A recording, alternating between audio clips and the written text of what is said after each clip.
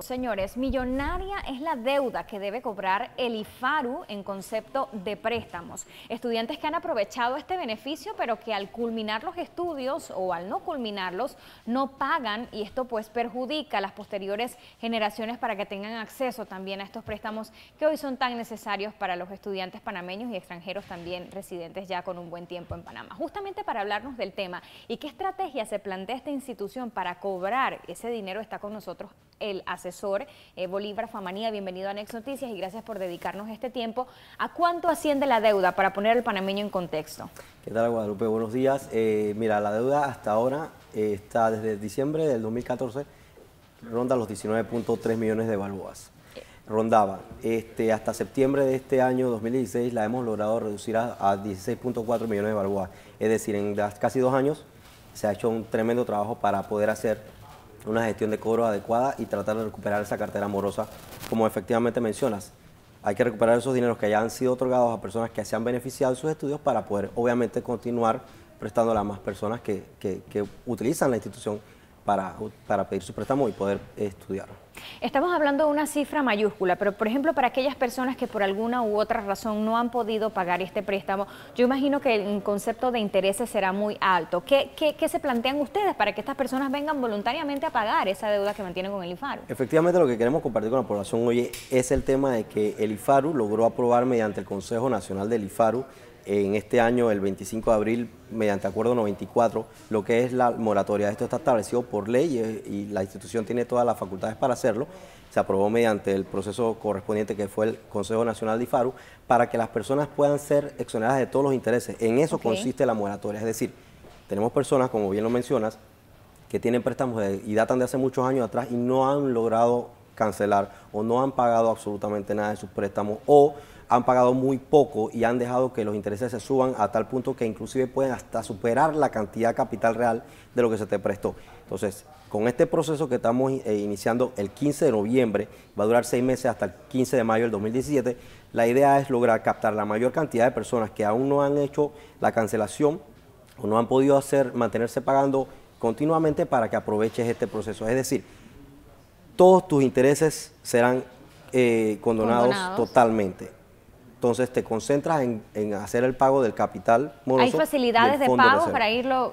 Por supuesto. Eh, ah, está establecido eh, dentro de la moratoria hay una reglamentación. Por ejemplo, si debes hasta 5 mil balboas o menos, debes cancelarlo todo. Estamos hablando de una cifra bastante pequeña ya entonces vienen un prorrateo de 5 mil, un balboas hasta 10 mil, debes abonar un 15% y continuar pagando tu letra exactamente igual como la tenías cuando iniciaste el pago. Es decir, no ahora se te va a aumentar ni modificar tu letra que tenías originalmente cuando solicitaste el préstamo. Si tienes la deuda de 10 mil, un balboas hasta 25 mil balboas, debes abonar un 10% y ya mayor de 25 mil balboas en adelante, eh, abonarías un 5% del capital moroso y fondo de reserva, ¿ok? Y continúas entonces pagando tu letra que ya tenías. Esto definitivamente es una tremenda ayuda para todos los prestatarios. Por supuesto, pero ¿qué pasa entonces con el codeudor? Yo entiendo que para sacar un préstamo tú tienes que poner un codeudor que generalmente cuando esta persona se pierde o, no está pagando el préstamo, se le carga entonces el monto a esta persona. Ah, están los, hay codeudores que pueden ser uno o dos dependiendo del monto que hayas solicitado en tu momento. Todos los codeudores aplican también para este proceso aquellas personas que inclusive están pagando la deuda del, del principal, que el principal nunca ha aparecido hay casos y casos, no tienes idea. Sí, eh, se van a poder beneficiar. De abuelitos pagando y el muchacho trabajando. Se van a beneficiar con este proceso y es como te lo establezco. Entonces, acercarse a la institución para hacer un acuerdo de pago y entonces buscar la mejor forma para que puedas ir saliendo y solventando esta situación. Definitivamente, eh, son, estamos hablando de que queremos recuperar en este proceso de seis meses un monto proyectado de 8 millones de balboas aproximadamente en la cartera que se quiere recuperar, que viene siendo un 30% de, de, todo lo adeudado. Eh, y definitivamente pues darle la oportunidad, como te, digo, insisto, a las personas para que se acerquen a la institución. Requisitos que tienes que presentar para poder aplicar. Ok, hay que hacer un, firmar un acuerdo de pago. Debes acercarte a cualquiera de las, de las eh, centros regionales, al Departamento de Crédito, a solicitar un estado de cuenta de lo que adeudas para que puedas saber cuánto es. Presentas ese estado de cuenta, presentas tu cédula, llenas el acuerdo y con eso puedes ya arrancar a, a ser parte de este proceso de moratoria. Son estos los requisitos básicos. Bolívar, antes de que te nos vayas, se está incentivando también por parte del IFARU pues un, todo un proyecto, un programa para que los estudiantes suban el promedio. Incluso el mismo eh, eh, beca universal ha sido cuestionado por algunos porque dicen, bueno, ¿dónde está el mérito del estudiante? Que todo el mundo se le otorga. Esto es para disminuir la deserción escolar. Sin embargo, son insistentes en que los estudiantes deben subir el promedio para que tengan acceso a otras oportunidades. Definitivamente estamos haciendo una campaña que la estamos arrancando hace un par de meses atrás en que queremos eh, incentivar más ahora al estudiantado para que se esfuercen más. Eh, esto va ligado, obviamente, no va ligado el tema de beca universal, porque ya sabemos que el tema de beca universal es un programa muy en particular y especial para evitar la deserción. Ahora lo que queremos es que estos estudiantes que logran tener un promedio eh, término medio 3,5, 3,7, se esfuercen un tanto más, tanto a nivel personal, cultural, deportivo y educativo, para que puedas entonces aspirar a estudios superiores. Es decir, el IFARU en esta administración ha logrado tener convenios y oportunidades de becas que hoy día no se tenían y estamos hablando de, estudios y carreras y licenciaturas de maestría muy puntuales y necesarias para nuestro país. Hace poco acabamos de cerrar el proceso de selección para estudiantes que aplicaron a maestrías y licenciaturas en temas de recursos hídricos. Si tú no tienes un mínimo de promedio de cuatro al haberte graduado de tu escuela secundaria, no vas a poder tener la oportunidad de aspirar a una beca a nivel internacional en universidades de excelencia.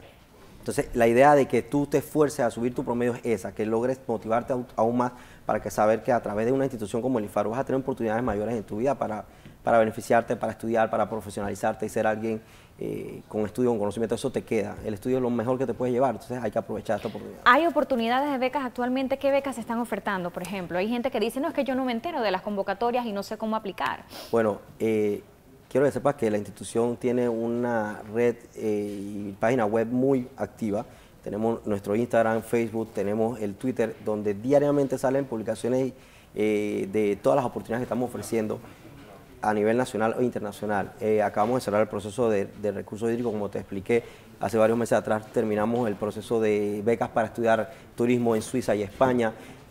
también estábamos con el tema del año pasado de becas para estudiantes que querían hacer estudios en pilotos eh, de, aviación y entre otras tantas becas que hemos estado publicando. Y siempre venimos a los medios y nos da usted la oportunidad de publicar.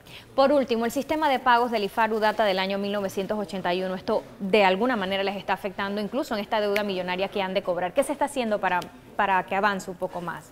Efectivamente estamos, eh, Guadalupe, buscando la mejor alternativa. Esto es un proceso, como todo lo que te, como te contaba, eh, que tiene que ser aprobado por, por las autoridades para poder mejorar. Eso es una es un talón de Aquiles que hemos encontrado en la administración y esa, ese proceso de recuperación que ha logrado la administración hoy día a través del juzgado ejecutorio, a través de la gestión de cobro, como tú señalas, está tan viejo el programa y el sistema. No se puede pagar en línea hoy. No se puede pagar en línea, pero estamos en ese, ese, ese es nuestro norte, buscar un, un proceso para poder mejorar tanto la recuperación, el pago y facilitar a las personas eh, que puedan quizás no acercarse a la institución, pero que lo puedan hacer a través de la tecnología. Estamos en ese proceso para mejorar esto. Gracias a Bolívar Famanía del IFARU por acompañarnos esta mañana con esta información oportuna. Y usted lo sabe, si tiene algún pendiente con el IFARU, pues puede acercarse, que es una excelente oportunidad para que se le condonen estos intereses.